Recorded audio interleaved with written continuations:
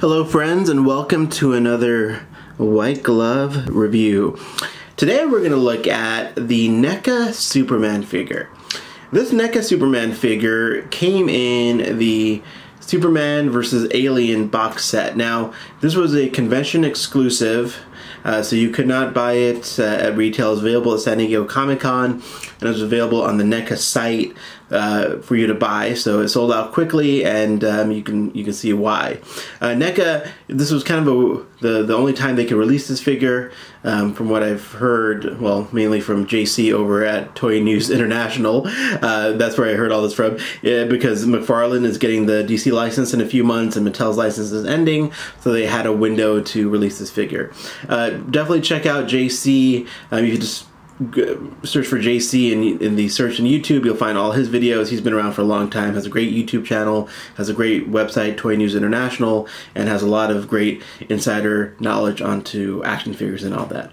But anyways, back to the figure. Now, just just now I just realized that I am not really doing this review justice because I don't have his extra head and his eye beams. So this figure does come with an extra head that has a heat vision attachment to it, and he also comes with extra hands. And I realized I didn't get those out for this review. So this review will be more just based on the basic figure as is without his accessories, um, and I apologize for that. But you know, that stuff's well, it is important, but you know, I think just having a look at this figure is also something worth your time.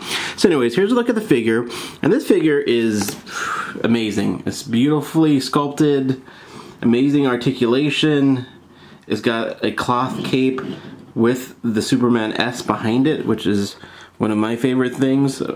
Um, and it, the way it drapes, the way it moves, just this whole thing is is great. Look at look at look at this articulation of this guy. Now I don't really care about articulation too much because if you might notice in the background, all my figures just stay in a very statuesque pose. Um, the only time I I mean I do play with them a little bit, you know, when I get them out of the box, but uh, between you and me. But other than that, I don't care about articulation too much. But if you do, you'll be very happy with this figure. So here, his articulation is awesome. The figure itself is awesome. Um, it's probably one of the best Superman figures available today. Um, you know, I think DC Direct, DC Collectibles, and Mattel all have amazing Superman figures, but this is definitely up there and pretty pretty amazing considering. Uh, well, that's not a very flattering image of him falling over like that. But you know, considering this was NECA's, I think maybe third Superman figure um, ever, they did an amazing job with it. So let's put him next to some of my other favorite Superman figures. Here is the John Bryan, uh, Brian, John Bryan, Superman figure from the Superman Through the Ages box set. And here is the new 52 Trinity Superman from the Trinity box set from DC Collectibles. So these are probably my top, some or a part of my top 10 Superman figures. And uh, the yeah, he fits in really nicely with you know these seven inch figures. He's a seven inch scale, so he scales really nicely with most DC collectibles and DC Direct figures. Okay. And then let's just do a few more close-ups of him. You know, why not? That's what you guys are watching this for. So there's another kind of close-up of him. And let's turn him around a little bit. It's a little slippery on the surface. But yeah, this figure is just a beautifully designed figure. Looks amazing, and I couldn't recommend it enough. Now, unfortunately, you can't buy this from NECA anymore.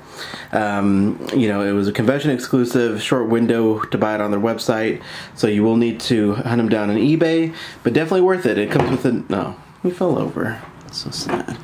Anyways, he's definitely worth it though. So I highly recommend if you're a Superman action figure collector that uh, you you hunt him down. He's definitely worth worth the effort and worth the expense. Um, and that's it. If you like this video, please comment below or, and uh, subscribe to my channel. Thank you so much and have a great day.